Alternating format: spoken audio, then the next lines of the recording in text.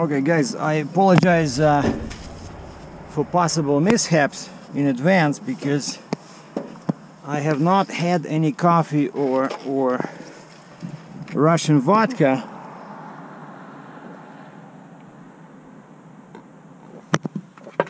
since Good Friday.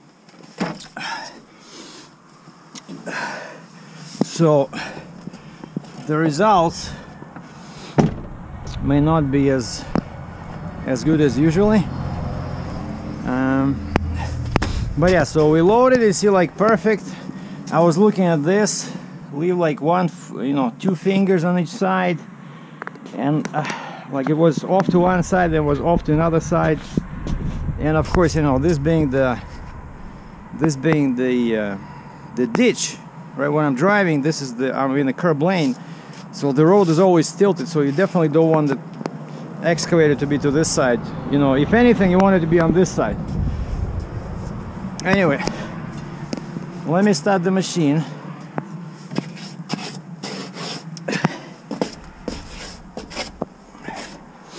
So yeah at least I flipped and I uh, like half of the work is already done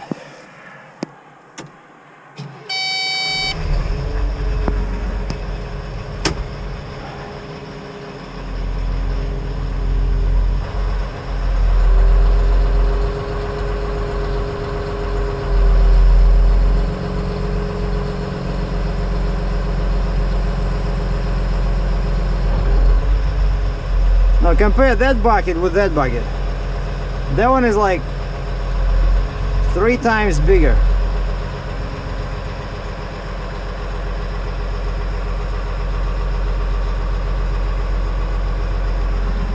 Now you want to go slow because there's a there's a counterweight in the back but this machine has mirrors everywhere I mean it has a mirror there it has a backup camera here almost as good as my uh, Dodge Challenger 6.4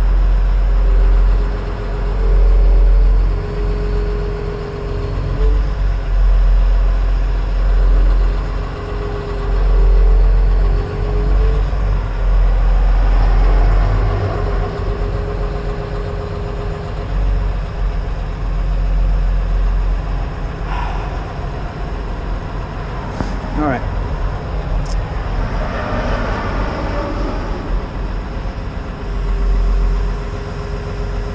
Oh, and I was afraid I wouldn't be able to get out the uh, the kingpin. You know, my main kingpin because uh, I was lazy. I didn't I didn't grease it, and it was super hard to put it back in when I dropped the um, when I dropped the Jeep. All right, what are we gonna hook up to? Any ideas, guys? Sorry, I cannot hear you. All right, I wanted to hook up to this.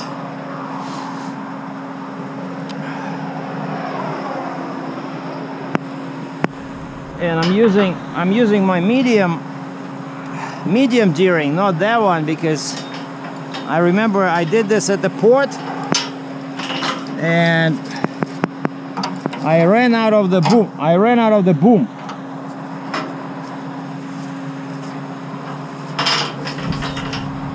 You know? Because for that one it goes much further, much higher up, right? And yeah, you see that pin? It was over there. Everything gets rusted so fast here.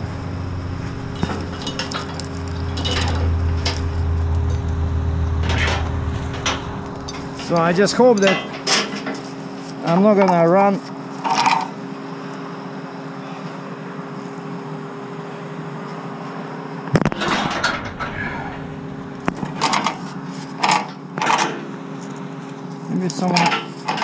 like this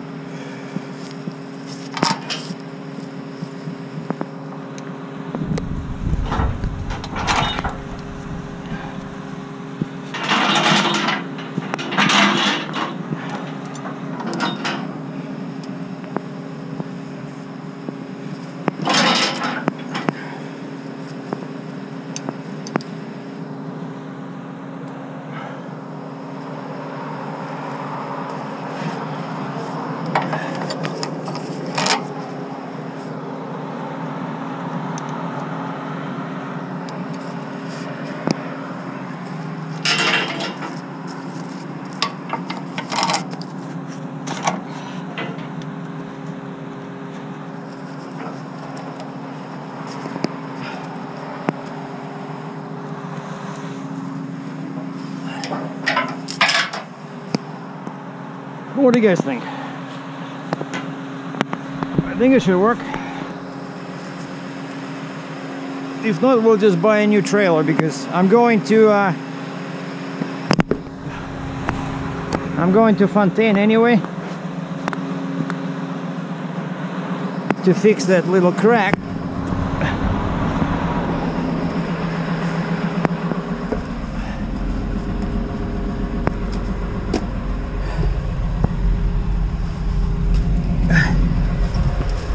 All right, hydraulics on.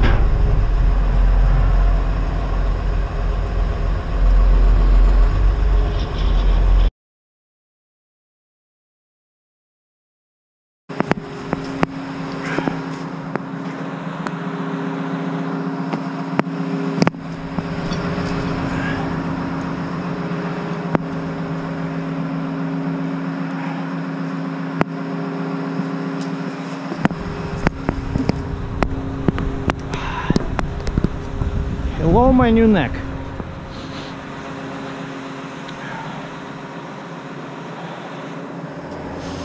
And what are we doing? All right, we have to put these in.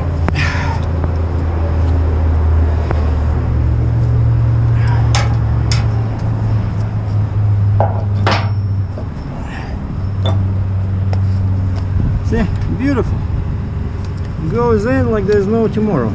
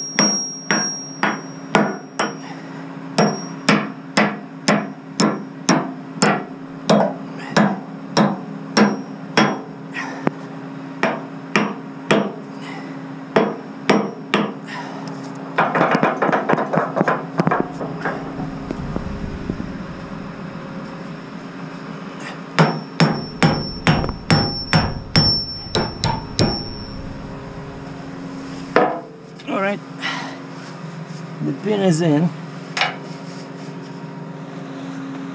Now if only I can find.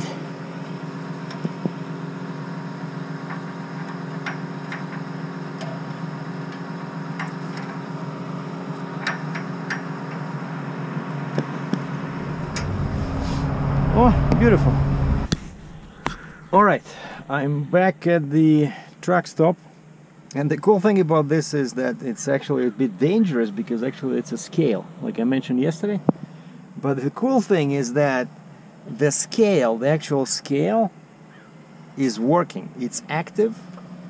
You know, this is so nice. So basically, it's free, free scale, and it's a digital, um, you know, screen. And I was able to go and scale all my axles and I'm okay pretty much everywhere. Just, just a little, tiny little bit heavy on the on the trailer, you know. And uh, knowing my empty weight, with the Jeep and Stinger, but that's with full full tanks of fuel. 10 axles, 100% fuel. I'm 72,380 pounds. Right, but now I only have probably three quarters of fuel, so I'm a bit lighter. Yeah, so I don't have full fuel, so let's say I'm 72,000 pounds.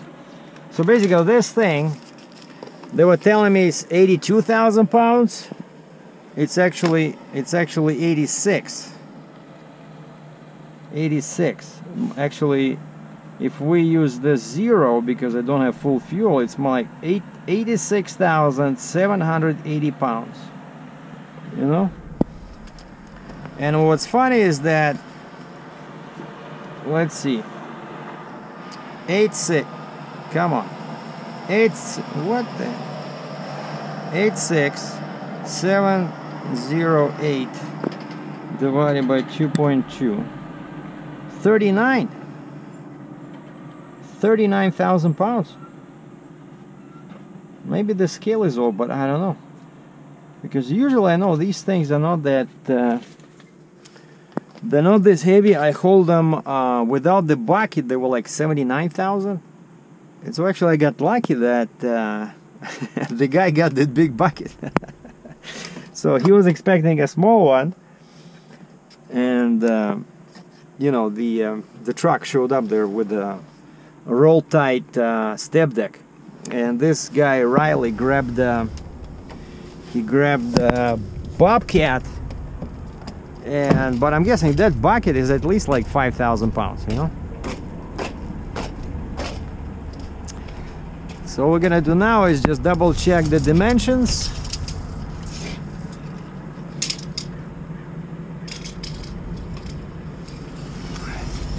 And we are 11 feet 1 2 3 maybe 4 11 4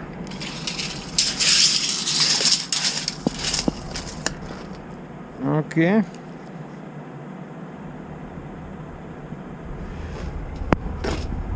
Oh and one cool thing is so I hooked up everything like this right? And then we drop the neck. I, I, I noticed that like the water was dripping down and it had this rusty color, rust. Like there was a streak of rusty water coming down and you experienced guys might know what that means like you know there's water coming right like there'll be just uh, I need I need I need to eat something. I haven't eaten anything since morning. So basically, well, it's hard to see from here, but uh, this is the neck that was built by JC trailer. But there's a weld, see like this weld, but on the opposite side. And that's where that uh, that's where that uh, rusty uh, rusty water was coming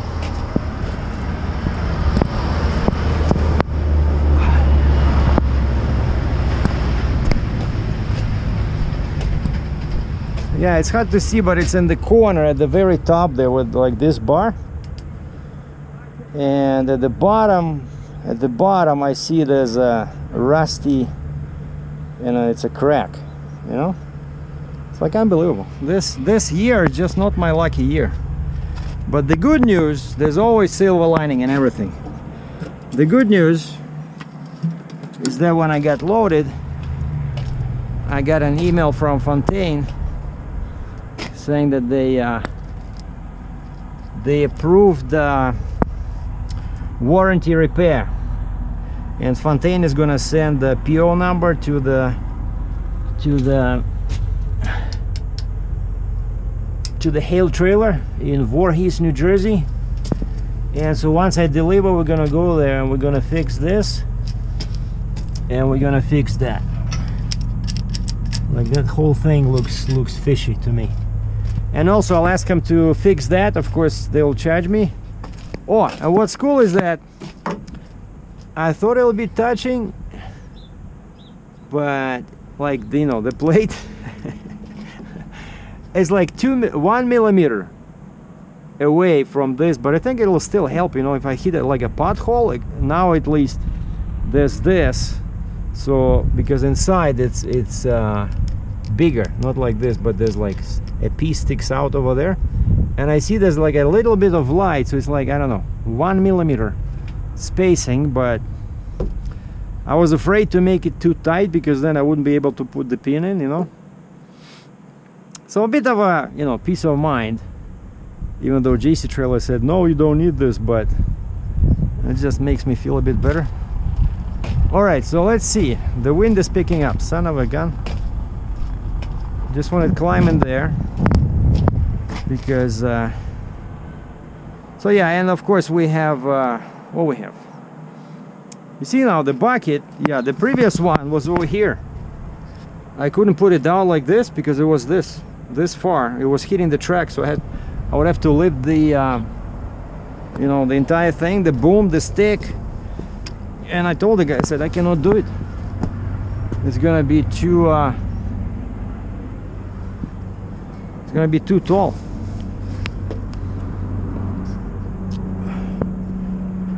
Oh, we have to.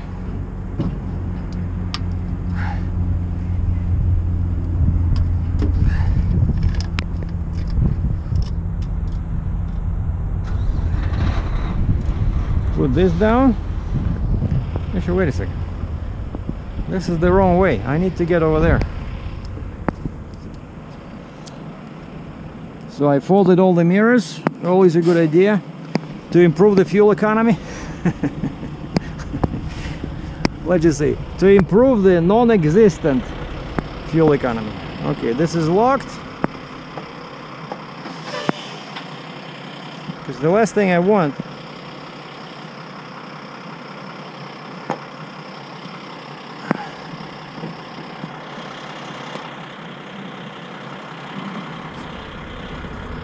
I think it's locked.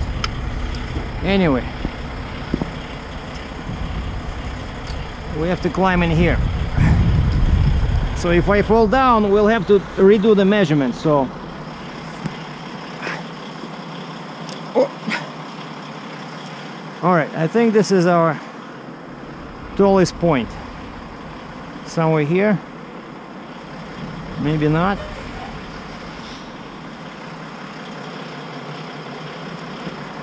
How about?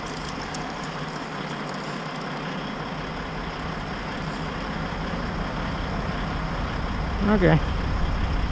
So yeah, somewhere here we have our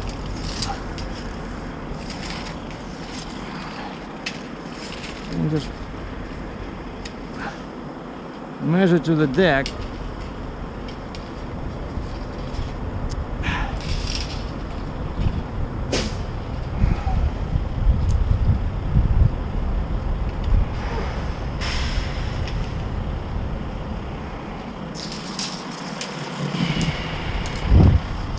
Of course, as soon as I decided to measure, the wind picked up.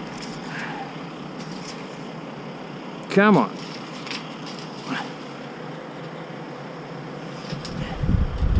On. All right, we're somewhere around 141. 141. 141. 141. And no, I don't need a folding stick. I'm okay like this. I like exercise.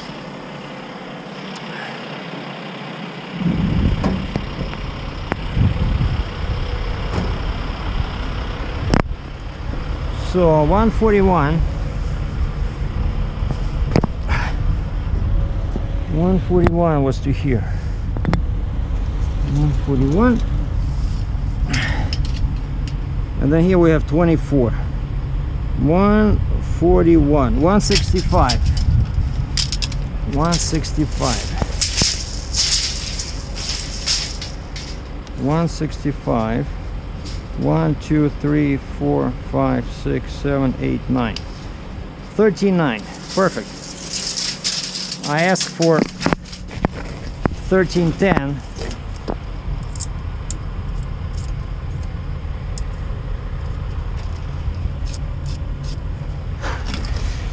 Now you know it's like обжегся на молоке, на воду будешь дуть, as they say in Russia. So now I see cracks everywhere, but that was not a crack.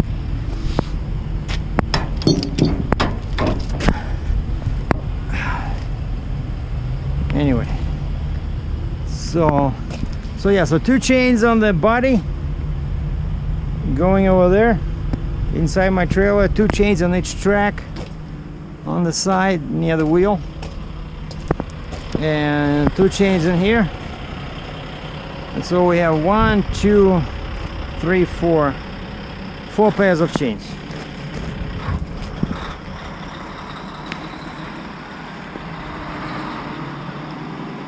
Yeah and I can drop I can drop the front. That's a bit too much. What do we got? Oh geez. That's that's definitely too much let's just drop the height a little bit.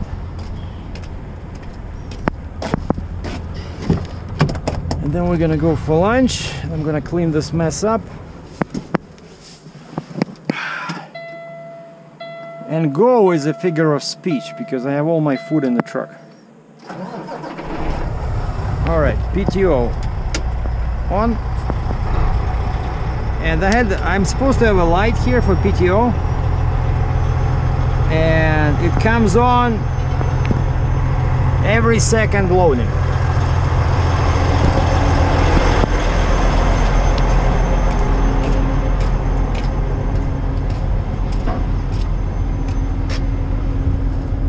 huh all right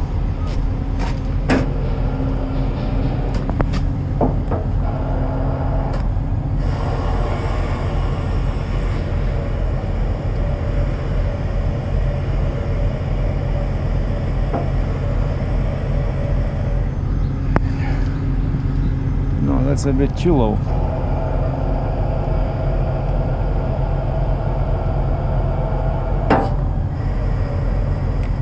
Oh, we go number three.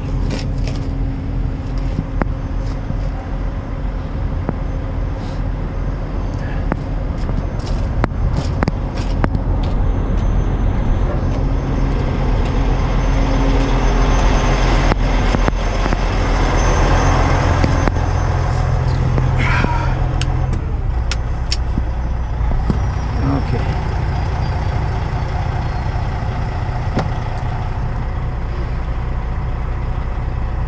And I don't know if I, thought I loaded properly, but I maybe the ground here is a bit tilted, but like one side of the trailer in the front is a bit taller than the other. I don't know what's going on. What's going on with this trailer? I have no idea. But at least the good news is that I know I'll be in good hands. Uh, I know Hale Trailer, they can fix anything. I'll just go there and surrender and I say, guys, please fix my trailer. I don't want any cracks. I don't want the trailer to be tilted one way. Just please fix it. Uh, if they want me to pay something, I'll pay him. Okay, so the plan today is... Okay, it's 1 o'clock right now, local time. Yeah, that's what I thought. You see, oh, you see, one o'clock. So it took me. I I was there at eight. So it took me like four and a half hours to load. And that's why now when I'm giving people quotes, I'm don't I don't put two hours for loading, two hours for unloading. I put four hours for loading, four for unloading. Well, actually, unloading takes quicker. Maybe, maybe so. Yeah, four hours loading, one hour border crossing. That's five plus two, seven. But I use eight eight hours that's what i you know when i calculate my quote and i go by the hours how far to drive all these uh, fees and so yeah it takes a long time especially when you have to unstack the jeep and and um, and so yeah today i think i'll just drive two hours two hours to uh, the next flying j towards saskatchewan because I got my Alberta permit, but I don't have my Saskatchewan permit. I gotta order it, and that's the plan. So we're gonna one. So I'm gonna be there probably. Okay, I'm gonna have lunch 1:30 plus two 3:30. So I'll be there around four, and I have my weights. I don't have to scale, so now I can just and it's on the phone. I have to call Saskatchewan and uh, permit office and uh, get the permit, and uh, we'll go from there. So anyway, so that's my current adventure. Cat 336 going to New Jersey through Canada, through Ontario, Canada, and then when I'm home, we're gonna drop the Jeep and uh, continue without the Jeep.